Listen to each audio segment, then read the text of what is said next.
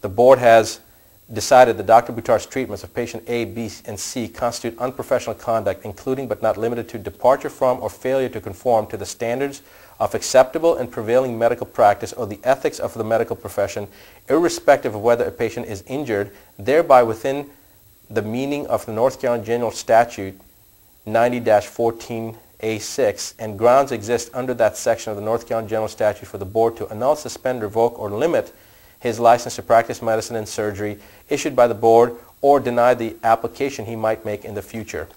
The medical board has already determined, and even their own expert admitted that no harm to the patient was done.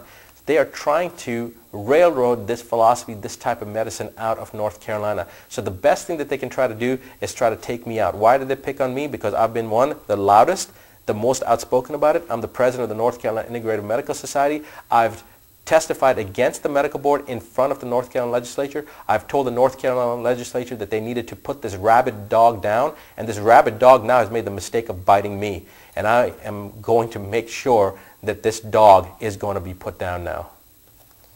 Dr. Buttar's conduct in regard to patient A, B, C constitutes Dr. Buttar providing services to a patient in such a manner as to exploit the patient within the meaning of North Carolina General Statute 90-14A12 and grounds exist under that section of the North Carolina General Statute for the board to annul, suspend, revoke, or limit his license to practice medicine and surgery uh, issued by the board or deny any application he might make in the future.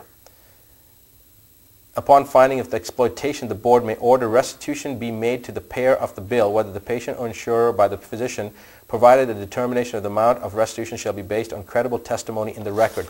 They had no credible testimony in the record in the first place.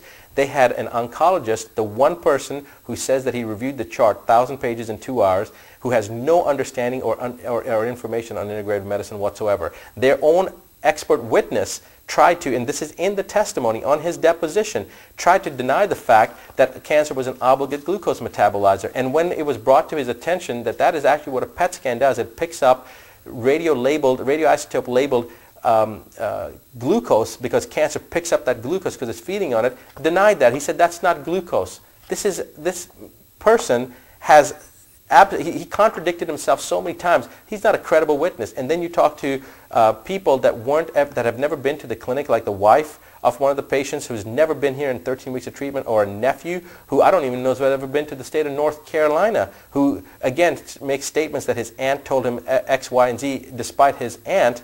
And you can read this in the testimony, despite his aunt giving me an antique dictionary of medical dictionary that was over 100 years old as a gift, with, inscribed by her, um, and, the, and the person that was accompanying the patient um, on, on, a daily basis, the fiance of the patient, said that the family was opposed to the patient's uh, decision to seek this type of treatment. This all comes down to the patient's right. The patient decides what they want, not the medical board, not the family members. I don't have any obligation to any family member when the patient comes to me. My agreement is between the patient and me. And if the patient dies, then the family comes back and tries to re renege what the patient themselves wanted, what they desired. That's not how it works. I am obligated to the patient. The patient has to be obligated to me to make sure they do what I'm asking them to do.